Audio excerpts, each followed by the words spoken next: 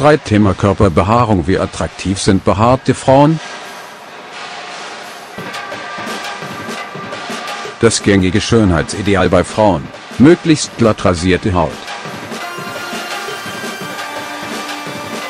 Außer auf dem Kopf, sollten unter den Achseln, an den Beinen und im Intimbereich vorzugsweise keine Härchen sprießen.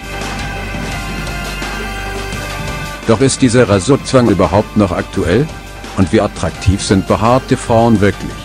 Stars machen den haarigen Trend vor prominente Frauen wie Madonna und ihre Tochter Lourdes machen es längst vor, sie lassen ihre Achselhaare wachsen und Und auch bei Germany's Next Top Model gab es schon eine.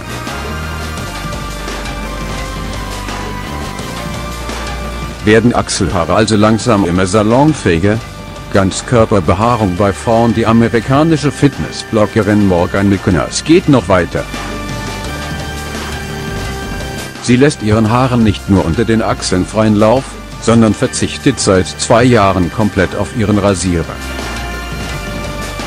Und das sieht man.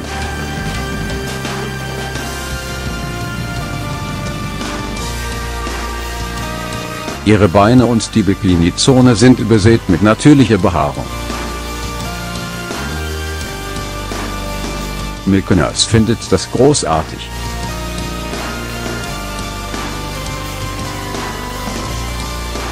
Außerdem ist es für sie eine tolle Zeitersparnis, sich nicht mehr rasieren zu müssen. Auf ihrem Instagram-Profil macht sie Menschen Mut, sich so zu akzeptieren, wie sie sind. Wenn du immer ehrlich zu dir selbst bist, stört dich nicht mehr, was andere von dir denken. Wenn du nichts verstecken musst und einfach du selbst sein kannst, wird das dein Selbstbewusstsein stärken. Außerdem appelliert sie mit einem Zitat von Steven Maraboli an die natürliche Schönheit von Frauen. Es gibt nichts Selteneres oder Schöneres als eine Frau, die ganz sie selbst ist und sich mit all ihren perfekten Fehlern wohlfühlt. Das ist für mich die wahre Bedeutung von Schönheit. Stolz ist sie auch auf ein Vorher-Nachher-Bild.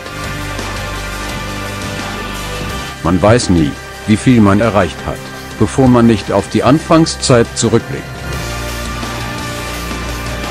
Vor zwei Jahren habe ich mit Bodybuilding angefangen.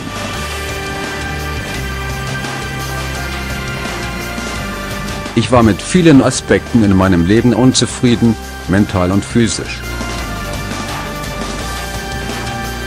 Also beschloss ich, dass es Zeit für eine Veränderung war.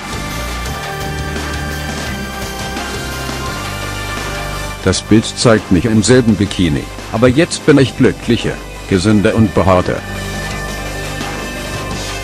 Ich bin eine ganz neue Person und könnte nicht stolzer auf mich selbst sein. Ihre Aussage ist klar, Frauen, die sich nicht rasieren, sollten nichts auf die Meinung anderer geben.